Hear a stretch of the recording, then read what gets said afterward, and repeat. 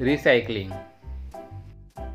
Recycling is a process where waste or used products are reproduced into new products.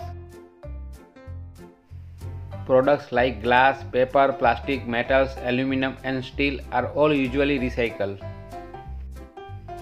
Recycling is necessary if we want to protect this world for our prospect generations. Recycling is an outstanding way to protect the environment and decrease universal carbon emissions.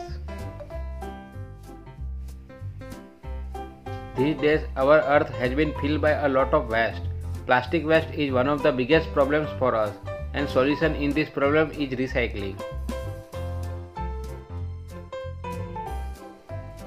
Recycling a material can help preserve the environment.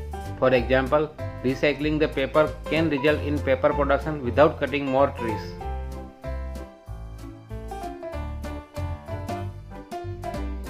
Recycling is essential for the environment. Before throwing anything, think a way to reuse that item. Recycling helps mitigate global warming and reduce pollution. Recycling helps in saving money because recycled products usually cost less.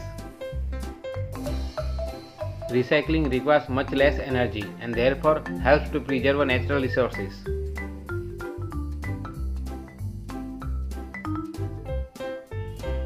Try to avoid the use of plastic bag and plastic paper as much as possible. Recycling reduces waste products in landfills. Recycling helps in preventing global climate change to a great extent. Recycling can prevent wastage of natural resources.